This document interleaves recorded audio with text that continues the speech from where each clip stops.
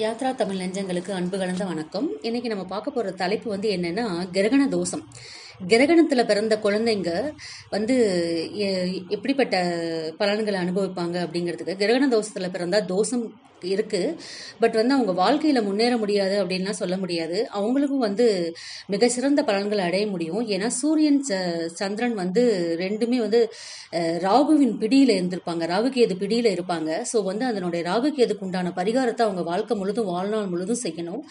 அது தனியாக செஞ்சுட்டு அதுக்கப்புறம் சூரியன் சந்திரனோட ஆக்டிவேட் பண்ணணும். அப்படி பண்ணும் பொழுது அவங்க கிரகண தோஷம் கண்டிப்பாக விலகும்.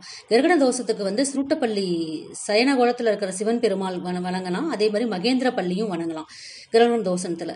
அப்போ வந்து நீங்கள் ராகுகேதுக்கு உண்டான பரிகாரம் வந்து கரெக்டாக பண்ணணும். கிரகண தோஷத்தில் பிறந்துட்டாங்க குழந்தைங்க பிறந்துட்டாங்கன்னா நம்ம வந்து அது இதாக நினைக்கக்கூடாது இதனுடைய கிரகங்களை தனியாக எந்தெந்த கிரகங்கள் நம்மளுக்கு வந்து அடி வாங்கியிருக்கோம் அந்த கிரகம் கண்டிப்பாக சூரியன் சந்திரன் அடி வாங்கியிருக்கும். ஸோ அதனுடைய ராகுகேது பரிகாரத்தை வந்து நம்ம வாழ்நாள் முழுசும் மேற்கொள்ளணும்.